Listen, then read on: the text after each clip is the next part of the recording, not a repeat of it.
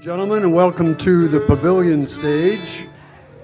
Yeah, for the 57th. I don't know how many of you have been here for how many of them, but we've been here for quite a few of them. Uh, just a moment because you see the banner behind me. A lot of us not only were friends with, but really appreciate and miss Mr. Frank Javorsek. Yeah. Right. Wonderful guy. Listen, uh, we've got some great entertainment for you this afternoon. Uh, and we're going to start off the uh, cowboy music and cowboy poetry section. Please welcome Mr. Tom Sauber.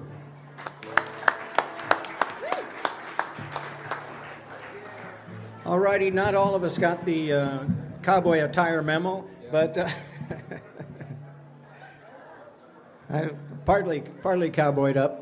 This is John Corzine on my left, and uh, Miss Erin Schneider, kind enough to uh, play some wonderful accordion musician. I've known John since he was uh, about like that, and he and he whipped me in a not the Topanga contest, but another contest, and we still.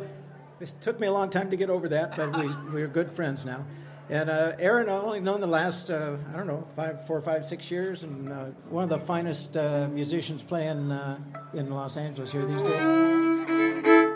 But we'll do a couple tunes, uh, some tunes that I learned from fiddlers who lived out here. most of them lived out here in the LA area and came from parts east of the plains kind of maybe as that monitors on, maybe the monitor doesn't need to be quite so hot. Maybe we could just turn the monitors down. It's getting a little feedback up here. I don't know if you guys can hear that. See where the sound man is? Uh, I don't. I don't Is either. that the He's on it. check, check, check? That sounds better. Oop, it's st- still in there somewhere. Yeah, we don't need a lot of feedback. In fact, the less we hear of ourselves, oftentimes the better. But uh, I learned this one from a fiddler named Earl Collins. He lived down in Downey, and uh, he played it. Uh, saw first time I saw him was at uh, this uh, contest in probably 1967 or eight, when it was still uh, at Camp Wildwood in the uh, Topanga Canyon. Anybody been to Camp Wildwood? It was a wonderful, wonderful place. It would hold about this many people, and you'd all be able to fit under the shade on the hillside uh, or down into the creek. But anyway, I saw Earl Collins play there in uh, 67 or so, and it changed my life. So I learned this tune from him. Uh, it's called Bull at the Wagon.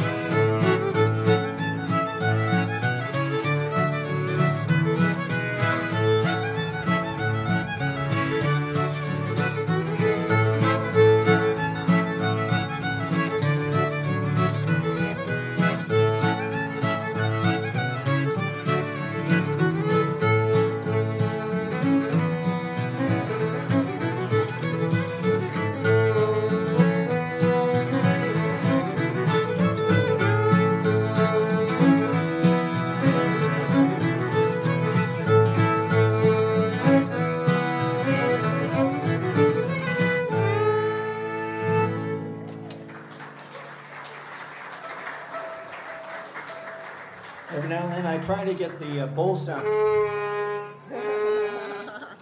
going.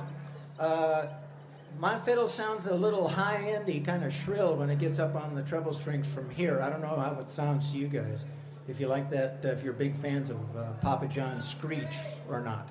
But, uh, but anyway, so he learned. Earl learned this, learned that tune from uh, uh, an old '78 recording that he had when he was a, a kid growing up in in uh, Shawnee, Oklahoma, and the record was by a a couple of brothers who were from West Texas, way way at the west end. Uh, they probably might have uh, been closer to Roswell than anything, uh, any Texas town. But they were the Lewis brothers, Dempson and Denman, uh, and they played that one.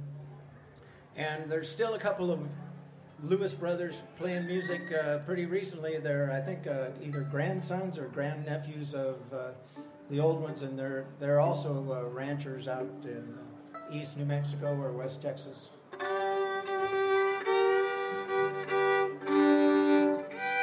So I'll play a tune that I uh, learned from them. It's a, uh, a version of a, well, there's a lot of names for it, but they called it a wild horse.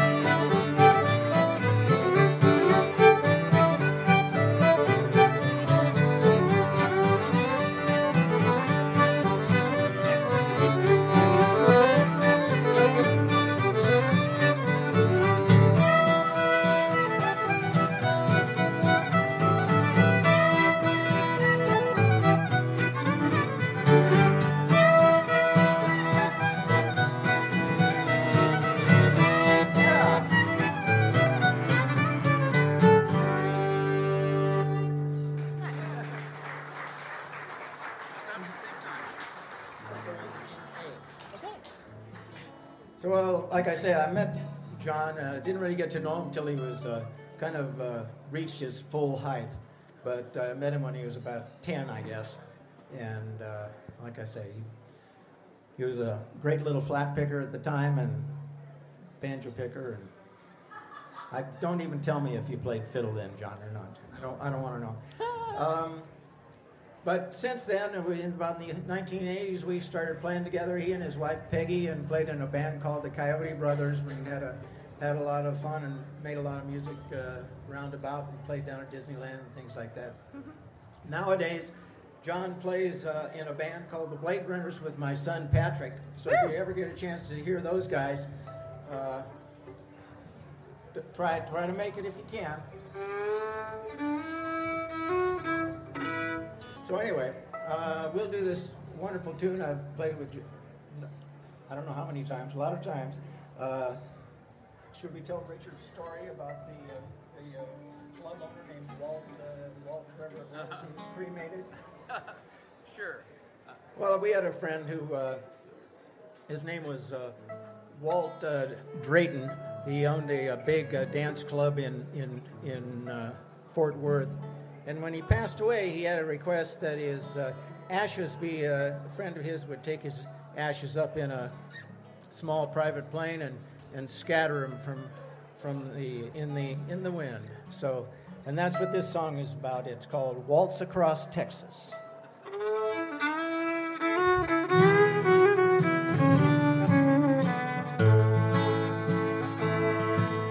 When we dance together, my world's in disguise. It's a fairyland tale that's come true. And when you look at me with those stars in your eyes, I could waltz across Texas with you. Waltz across Texas with you in my arms. Waltz across Texas with you. Like a storybook ending, I'm lost in your charms. And I could waltz across Texas with you.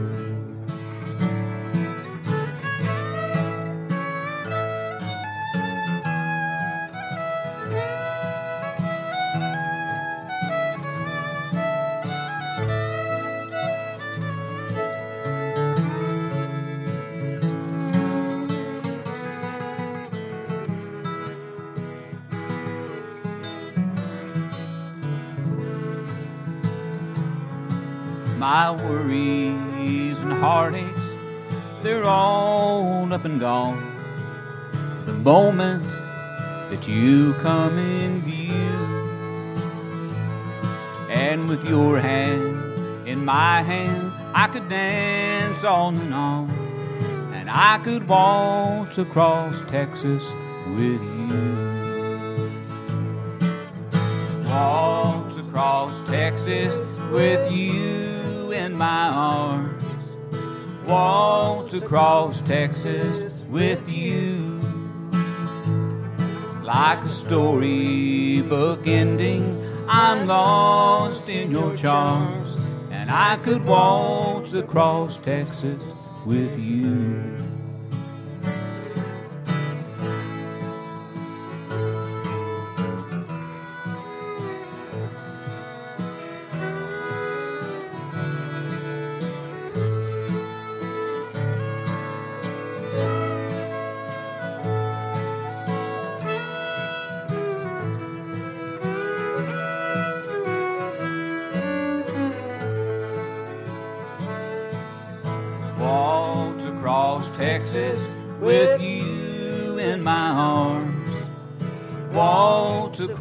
Texas with you.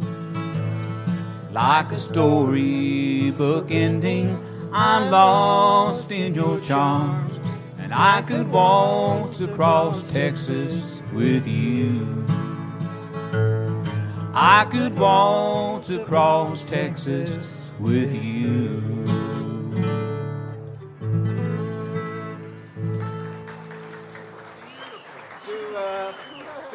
A and do that uh, that uh, White Creek. Okay.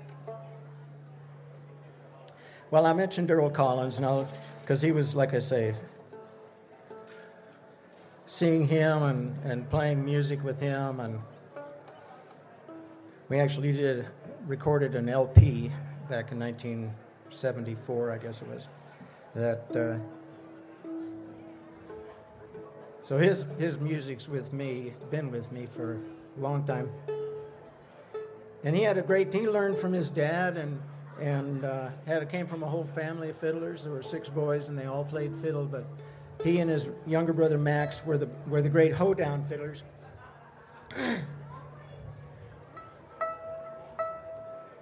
And if you happen to, I think this, there's a book that was published in 1967, I think, called The Fiddle Book, by, written by uh, Marion Thede, T H E D E, and I think it's uh, still uh, in publication.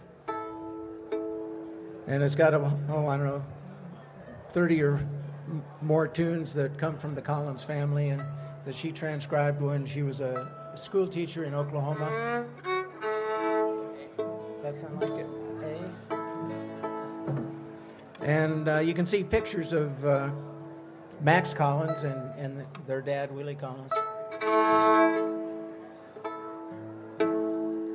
So if you get those guys off by themselves where they didn't have to be on stage putting on a, a big Las Vegas type show like we're doing right now, you could get them to uh, go into these old time fiddle tunings that open tunings. They take a little time. Sound a little flat. Does that sound flat, Lester?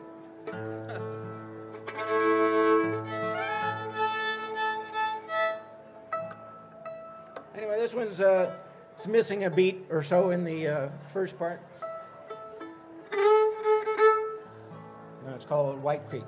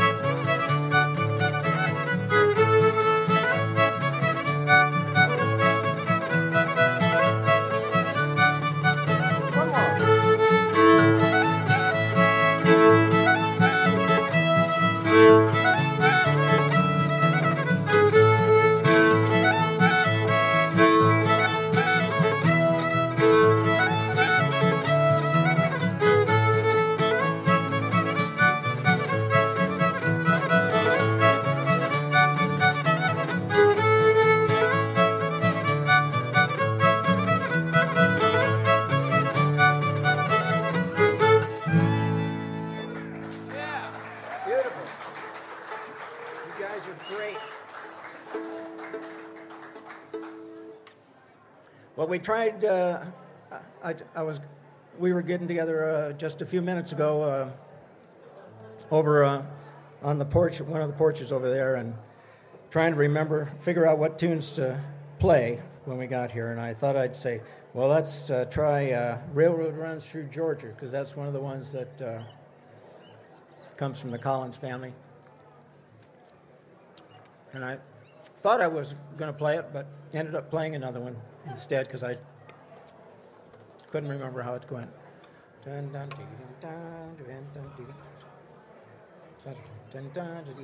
That's the one.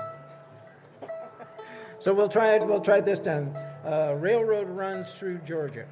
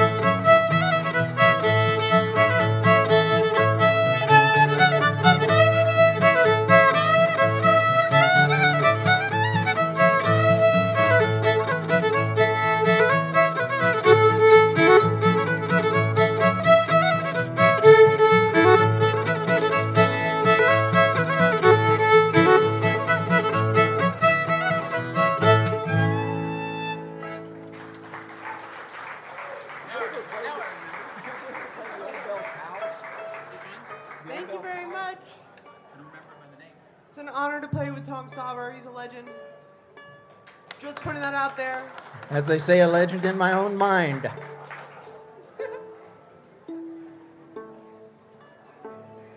Thank you all for being here. There's many places you could be right now, so thanks for being here. But this is what Earl Collins did, and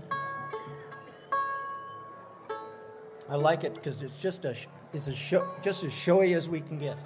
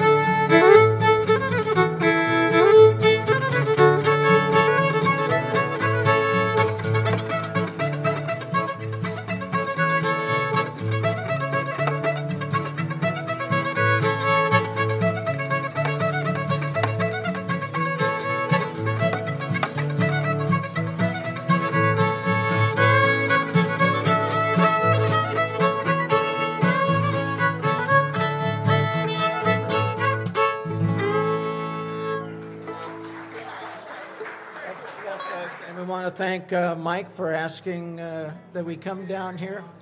And I want to thank John Corzine and Erin Schneider for really great music.